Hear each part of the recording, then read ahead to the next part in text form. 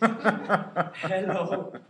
Uh, so we know that the formula for change of volume over time, uh, in respect to time, is dv dt is uh, dv over dr. So change in volume in respect to its radius times change in radius in respect to time.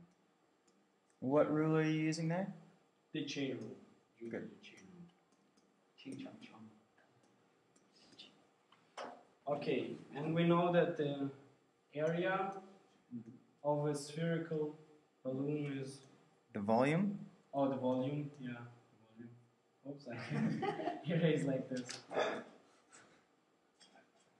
How you erase?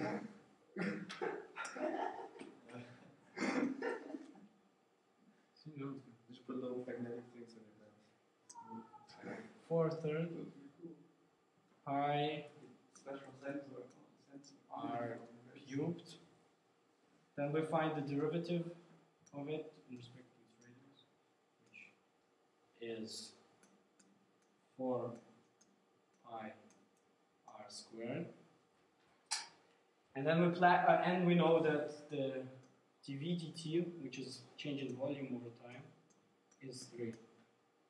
So basically plug it in, which equals then 3 equals 4 pi r squared times dv.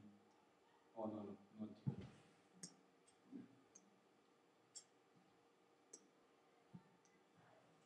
dr dt.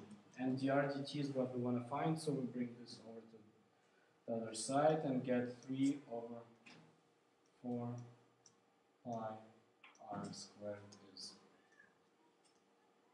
dr dt. Good, just one area you forgot to write dr dt right here. Hmm? dr, this needs to say dr dt.